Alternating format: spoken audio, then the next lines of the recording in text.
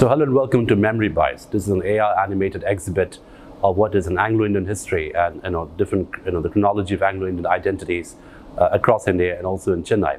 So this particular exhibition, which we're doing as part of our uh, conference, uh, Memory in the Digital Age by Center for Memory Studies IIT Madras, will take you through the history of Anglo-Indians uh, in Chennai and as well as in India through an AR animated app, which is called Memory Bytes. So if you could just come here, this is where the Memory Bytes app is. So this can be downloaded to the QR code.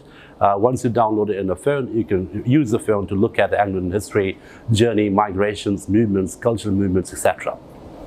So here we have the map, uh, which again gets animated once you look through the app. Uh, again, this different kinds of information will pop up and this will enable you to understand the movement, the migrations, the journeys, which have consolidated into the Anglo-Indian identities uh, and history, what we call it today. So moving on, as you can see, one of the most iconic images of the Anglo-Indian presence in India was the railways. So you see the railways form an absolute com crucial component in any discussion about the Anglo-Indians.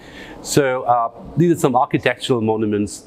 So we're looking at how the heritage can be recreated, retold as a story using this particular app, which can be downloaded on your phone.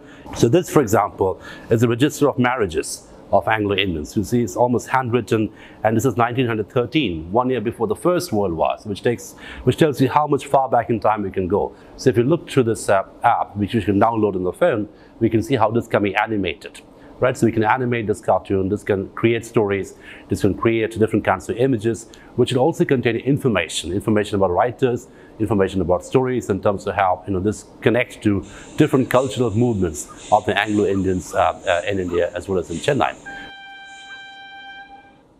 So this is the uh, museum at the moment. This is an uh, exhibition at the moment. It's called Memory Bytes, which is also uh, uh, an app which you can download it. So we welcome everyone to come and see it, and we very much hope this will be of interest to scholars and researchers in the times to come. Thank you.